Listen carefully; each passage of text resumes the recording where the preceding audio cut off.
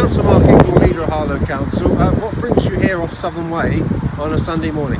Well, what brings me here is fulfilling a promise that we made to plant a thousand trees in the urban environment of Harlow.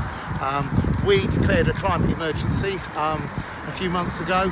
It wasn't an empty promise. Our um, climate emergency, uh, when we declared it, we pledged to try and do something about it. And one of those things is to plant a thousand trees. And here we are, this great group of volunteers trees.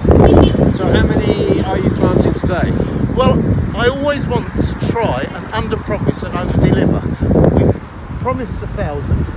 Today, we're going to plant a thousand, and that's not the end of what we're going to deliver this year. Can you just go through you know, um, the term climate emergency and from a Harlow perspective, what are the concerns that would make you have to declare a climate emergency for Harlow? Well, the concerns um, are global, but they have.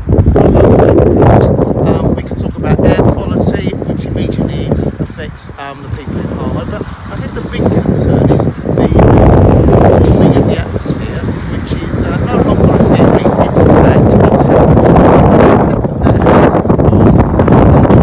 on 6 million people who live uh, in low-lying areas, the effect that will have on um, destroying industry and um, the damage that it's going to cause to the local economy, and that of course has an effect. So anybody so if anybody wants to get involved, can they get